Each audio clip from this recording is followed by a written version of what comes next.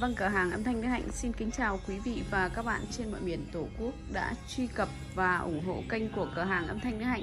Vâng, clip của ngày hôm nay ngày 16 tháng 12 năm 2022 Cửa hàng cũng đã nhận được đơn của một vị khách hàng quen thuộc với cửa hàng âm thanh Đức Hạnh Vâng, anh à, đã chốt bên cửa hàng âm thanh Đức Hạnh cũng rất nhiều sản phẩm rồi Ngày hôm nay thì à, tiếp tục à, anh Tuấn có địa chỉ tại số nhà 100 80 đường Lê Văn Tám, tổ 9, phường Đồng Tâm, thành phố Yên Bái, tỉnh Yên Bái.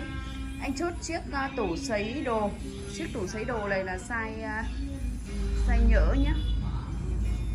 Sản phẩm này thì uh, khách hàng cũng đã chuyển khoản đặt hàng bên uh, cô chủ shop rồi và cũng đã chuyển khoản đầy đủ số tiền.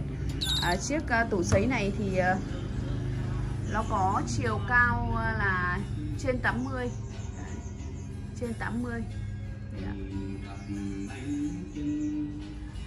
À, bên cửa hàng thì à, còn duy nhất một chiếc tủ này Còn những vị khách hàng mà quan tâm đến dòng sản phẩm tủ sấy đồ Để các bác có thể sấy băng cho mùa ẩm thấp Thì à, các bác có thể liên hệ để chốt đơn với cửa hàng âm thanh Đức Hạnh.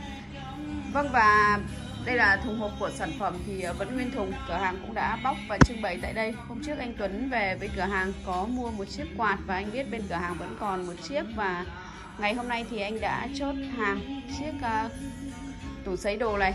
Uh, tủ sấy đồ này thì uh, được cắm điện 220V nhé và những chiếc máy hút ẩm bên cửa hàng âm thanh Đức Hạnh vẫn còn đây. Những bác khách hàng mà chuẩn bị cho mùa ẩm thấp thì à, có thể chốt những chiếc máy có dung tích hút từ 16 đến 26 lít bên cửa hàng vẫn sẵn hàng và đều sử dụng điện 220V hàng đẹp xuất sắc.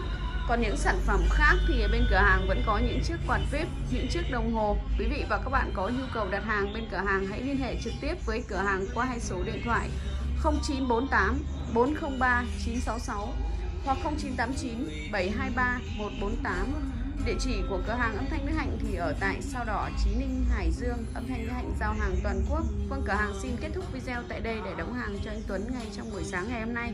Xin kính chào và hẹn gặp lại quý khách hàng vào những video clip tiếp theo ạ.